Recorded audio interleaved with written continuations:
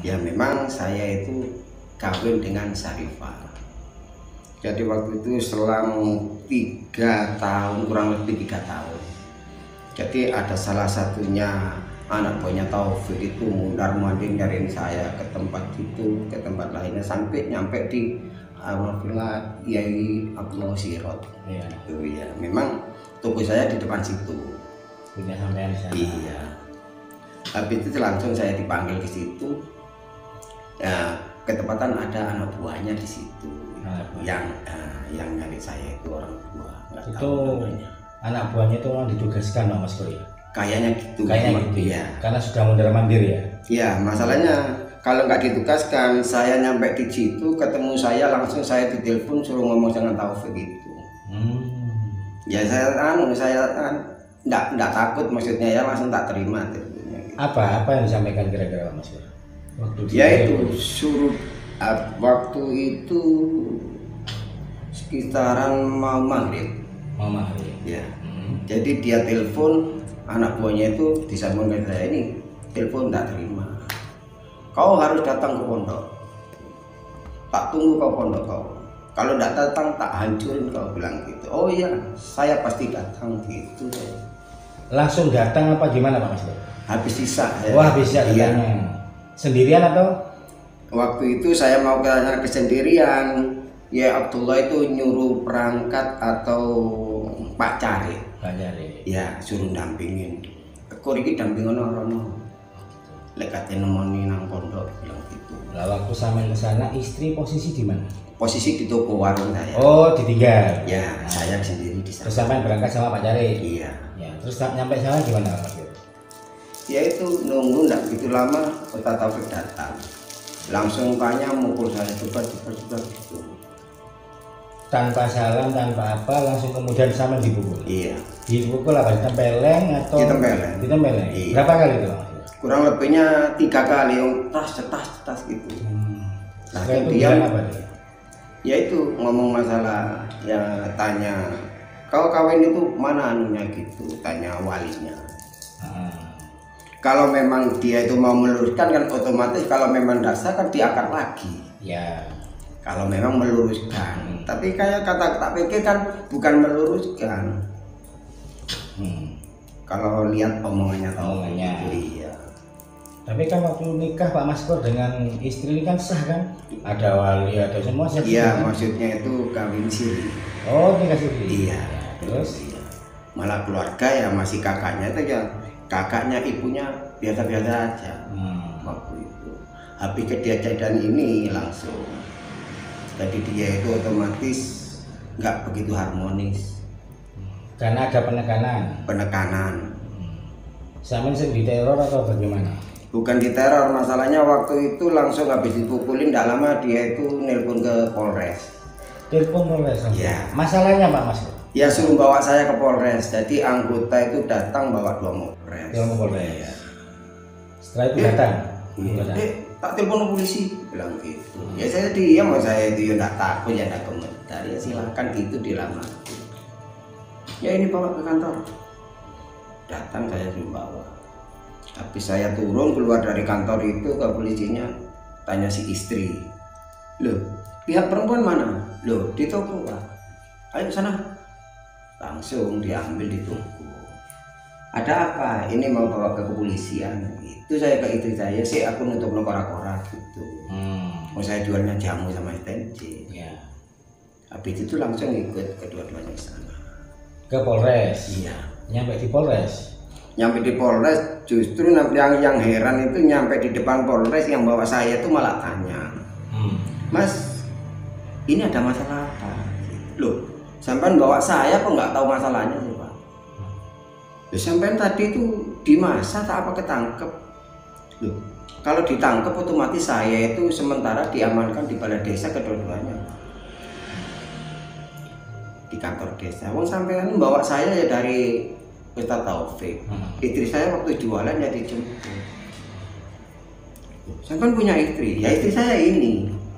Tak gitu. Enggak, sebelumnya. Ya ini janda ya kita. Setelah itu dibawa ke sel. bukan di sel langsung di ruangan. Di ruang ruangan. Iya ruangan kayak gini tuh. Wis ayo wis rono wis. Pokok ngikutin aja. Hmm. bilang gitu langsung naik ke sana. Ya ya ditahan di ruangan itu. Ditahan di ruangan iya tidak boleh pulang. nggak boleh pulang sampai pagi. Sampai pagi sama istri? Iya kedua sama istri gitu kan. Tapi masalahnya belum jelas. Ya nyampe di situ ya ndak ndak ndak ada masalahnya itu ndak ada ditanya masalah. masalahnya iya. Petugas kepolisian juga bingung sama Iya. ini ke sini apa gitu iya. Ya Hmm. wis ngikutin aja wis prosedurnya wis bawa besok pulang gitu. Udah. Oh, gitu. polisinya bilang gitu. Setelah pulang gimana pak setelah pulang dari saya Polres. Dari Polres saya pulang ke rumah sendiri. Istri saya pulang ke rumahnya dia si istri. Si istri? Iya. Kenapa kok berbeda Mas? masalahnya eh, eh, masalahnya situ udah ada pernyataan. Ada pernyataan kayak penekanan tidak boleh kumpul lagi. Intinya sama disuruh nolak juru bisa disuruh bisa iya. Yang buat pernyataan siapa pak? Yang berpernyataan ya kantor polisi. Kantor polisi yang buat iya. Pernyataan disuruh bisa? Iya. Intinya istri saya tidak boleh jualan di situ. Jadi tidak boleh berjualan sama saya gitu. Nggak boleh jualan apa? Nggak boleh kumpul sama tidak siapa? boleh jualan terus tidak boleh kumpul. Bang ini aja masalahnya asalnya saya kumpul ini yang dibuat masalah gitu. Yang dibuat masalah.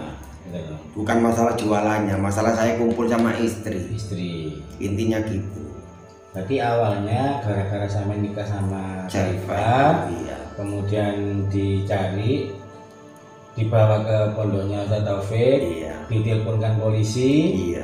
dinginep di sana pulangnya iya. sudah tidak bersama istri. Iya. Sama mengucapkan talak atau tidak waktu itu? Kalau waktu itu saya tidak mengatakan talak cuman saya itu pulang dari situ pulang sendiri sendiri Sendiri-sendiri. iya. Habis itu udah wes. Jadi hubungan kita itu rentang tentang terus Iya. masalahnya ya sama dia takut kalau saya enggak dianya kayaknya takut oh istrinya takut Iya. karena tadi ya ada penekanan ada pernyataan iya tadi. ada pernyataan dari Ustaz Taufik itu apa ada kalimat-kalimat yang ini dari Ustaz Taufik bahwa sama tidak boleh nikah sama Syarifah gitu ada pernyataan gitu nggak? Enggak. Enggak ngucap tapi saya itu kayaknya mau dirusakkan gitu dirusak bagi Dirusak, iya intinya nggak boleh kumpul sama Syarifah Syarifah iya intinya itu kalau tidak menyebutkan alasan. Tidak. Ya cuman waktu nanyain saya itu tanya wali. Saya cuman jawab kalau kalau wali itu pasti ada tapi umum kalau katanya orang gitu saya. Kalau janda bisa mewalikan diri tak gitu. Oh iya. Hukum cuman saya itu ingin tahu jawabannya wah tidak sah kalau ada yang gitu ya mau enggak disahkan kalau memang nuntut meluruskan jalan kalau yang tidak sah kalau intinya kan ini kan untuk merusak hubungan saya sama istri bukan untuk meluruskan intinya kan gitu kalau meluruskan kan kalau menurut dia tidak sah kan otomatis mau nggak diangkat lagi kan gitu. lagi. iya kalau memang mau meluruskan tapi dia itu kayaknya mau merusak bukan meluruskan menguruskan iya Pak Mas Masalah- sama istri sudah punya anak? Sama Zarifah? Hmm. belum. Belum. Belum. Jadi akhirnya sampai memutuskan wis tak talak. Iya, itu berapa minggu berapa bulan setelah kejadian di kepolisian? Setelah kejadian itu ya kurang lebihnya dua minggu. Jadi Dua minggu. itu iya tak pikir-pikir dia takut. Hmm. tapi dia itu pingin kumpul saya tapi takut gitu loh. Pengen balik tapi tapi takut Nah, terus saya ya mikir masa depan. Nah, terus rumah tangga kayak apa? Kalau singit-singitan atau kayak kucing-kucingan kan gitu. Dan lagi kasihan situ. Masa mau ketemu suaminya aja masih kucing-kucingan kan gitu. Kira-kira apa yang ingin Pak Maskur ungkapkan ke Ustadz Taufik? Seharusnya bagaimana? Ya seharusnya kalau menjadi kayak Ustadz Taufik itu kalau mau meluruskan ya intinya khususnya untuk hubungan saya ya. Ya. kalau menurut dia itu ndak sah seharusnya dia itu kan meluruskan harus diangkat. Ayo angkat. Kalau menurut dia itu ndak sah. Tanpa harus merusak. Iya tanpa harus merusak. Tapi dia itu ndak ada kata-kata gitu. Cuman tanya wali gitu toh. Tapi Jadi- alasan mukul sama juga nggak jelas ya tidak jelas ya itu mungkin ya ya gara-gara saya itu intinya ya kawan Syarifah itu oh saya itu tidak kenal dia kok Hmm. malah saya suruh ngaji ke sana saya sibuk tak gitu Pak Cari waktu itu ke mana? Jam. Pak Carinya waktu itu ke mana? Pak Caritnya ya Ikut kepolisian atau pulang? enggak dampingin di Kota Taufik Tok. Jadi saya itu berdua yang dibawa ke sana tanpa ada yang dampingi. Gitu. Nama polisinya tahu nggak Pak Mas? Enggak tahu. Dua orang itu. Kayaknya itu ada made-made itu waktu itu ya saya ingat saya. Tapi waktu itu adik saya mungkin waktu pulang itu pernyataan itu suruh moto Pernyataannya ada nggak? di foto sama adik saya. Di foto? iya tak enggak tahu waktu itu dipegang siapa yang asli gitu loh Oh, saya kan enggak bawa HP sana ditinggal semua tinggal di rumah iya Berarti surat pernyataan itu masih di polisi ya? Ketika iya Mas Pur masih pulang di ya? situ ya Nah, Cuman di foto sama di sana. ya? foto Oke. Pak Maskur waktu itu setelah dari kepolisian, Pak Maskur sama istri saling ini enggak? Saling ingin punya akhirnya kembali apa enggak? Iya masalahnya kalau masih kembali itu ya Masih ya? masih. Masalah Masih hubungan juga. itu masih berlanjut. Cuman eh, setelah ada kejadian kayak ini saya itu hubungannya kucing-kucingan jadi kayak istri ingin ketemu saya itu masih singit-singitan. Gitu iya diam-diam Hmm. gitu, takut. Masalahnya saya sama istri masih suka sama suka. Masih juga sama. iya. Setelah itu Pak Maskur setelah itu sampai saya jalanin berapa bulan sampai istri saya itu jatuh sakit lumpuh. Jatuh sakit saking kepikiran ya? saking mungkin dari pikirannya itu yang gelisah terus ingin ketemu saya ndak bisa kayak gitu. Lumpuh-lumpuh total. Lumpuh total. iya. Oh saya yang merawat kok. Bopong ke kamar mandi. Kadang berak itu saya yang bersihin. Istri saya selama kurang lebihnya yang sakit itu lima bulan saya yang merawat Sama. iya Itu ibu dan istri tahu itu? ibu dari istri tahu Tahu. masalahnya sakitnya itu posisi di rumah istri Hmm. langsung ke ibu udah Ali kamu bawa aja batul ini ke rumahmu sana Gul." Oh, jadi ibu ya mempersilahkan. istilahnya Anaknya untuk tira gitu Ya. Jadi selama itu langsung tak bawa tak rawat di sana alhamdulillah selang beberapa bulan mulai bisa jalan Nah, bisa jalan. iya terus habis bisa jalan itu agak enak pulang lagi ke rumah ibu rumah ibu. ya tidak lama sakit lagi lumpuh lagi ya kambuh kayak sakit yang awal Awal lagi. iya Terus Pak Maskur merawat lagi nggak? Lah dengan kejadian itu saya itu si ibu itu udah mulai ndak anu udah ndak harmonis. Hubungan saya dengan batil ini udah nggak nggak ada dukungan. Jadi ibunya istri saya itu juga ikut gelisah karena melihat anak seperti itu. iya jadi saya itu masuk ke rumah sudah ndak boleh. Hmm. tapi kalau nyari obat dia itu masih merestui. Jadi lewat telepon toh datakan orang untuk mijet itu saya yang manggil orangnya tak tak tunjukkan rumahnya itu masuk tapi saya ng- ngasih tahu yang mau diobati Gitu, iya Berarti seorang ibu yang pernah nggak sampean pengen tahu ini saya ngirim obat boleh tapi ketemu nggak boleh. Berarti ibu ini juga ditekan apa enggak? Kira-kira sampean pengen tahu seperti itu nggak waktu itu? waktu itu ibu itu sempat melarang gitu Hmm, melarang. jadi Kenapa kok melarang?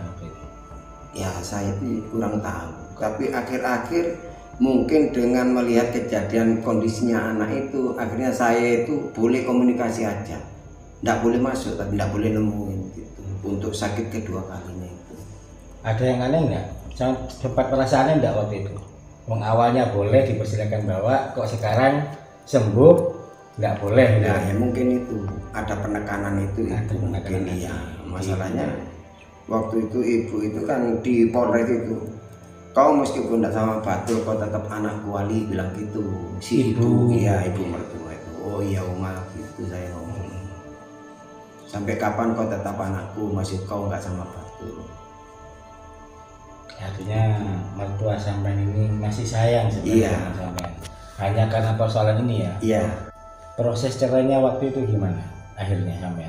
ya itu jadi saya itu mikir ya maksud saya itu mau tak ajak balik ya kayaknya tidak mungkin. Mungkin. tambah akhir tambah akhir kayak keluarga itu udah tidak dukung. Tidak seperti waktu sakit pertama. Sakit pertama. Iya. Jadi si adik si kakak itu ikut-ikut si istri saya ikut takut juga ke adik sama kakak itu. Kalau dulu enggak. Nah. Iya. Makanya saya itu tanya tanda tanya ada apa? Kok tumben tiba-tiba tiba-tiba sekarang takut sampai ke adik sama kakak. Dulu enak-enak aja kok meskipun kakak sampean ke rumah kakak eh, sama-sama istri saya biasa. Iya sih. iya. Saya ibu juga biasa ke rumah kakaknya. Ya karena ada penekanan tadi mungkin Bu ya? Mungkin ada yang penekanan itu dari pihak ketiga yang kurang tahu. Kok tiba-tiba ibu itu sekarang kok kayak gini nggak kayak dulu?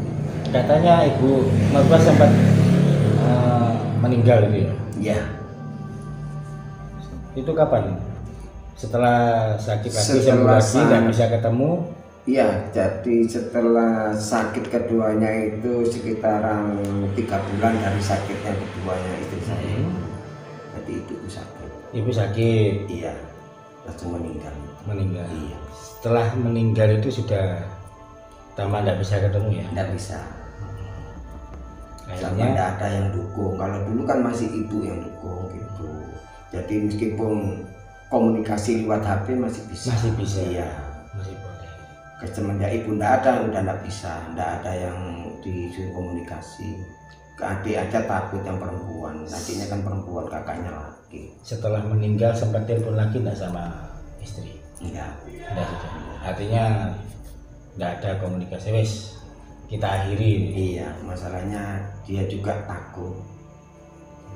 Ke keluarga aja takut gitu, nggak tahu ada penekanan apa kok tiba-tiba semuanya takut sekarang kalau si istri ini mantan istri ketemu saya aja bilangnya takut ke keluarga sekarang. Saya memang kawin siri. Jadi sewaktu itu saya secepatnya mau ngurus untuk ke kawin sah. Ya, masalahnya saya sama istri sama-sama ngurus surat juga. Berhubung ada masalah yang kayak ini, ada teror ya ada teror ini, ya makanya semuanya terbengkalai. Jadi fatal semua. Ya minta maaf dan tolong kalau ada masalah orang yang kayak saya itu mudah-mudahan tidak ada lagi orang yang seperti saya kayak ini. Minta tolong. Masalah saya kan ya namanya saya tuh masih senang sama-sama suka. Tapi di teror kayak ini gimana perasaan saudara-saudara? Andaikan ada yang kejadian sama kayak saya ini gitu. Minta tolong jangan sampai ada lagi. Saya anggap korban saya ini bukan musibah korban. Kor. ya masalahnya saya udah hati-hati. Hmm. rumah tangga saya udah hati-hati ini kok tetap ada ada teror kayak ini berarti saya itu korban bukan musibah ini korban. Tolong jangan sampai ada lagi korban kayak saya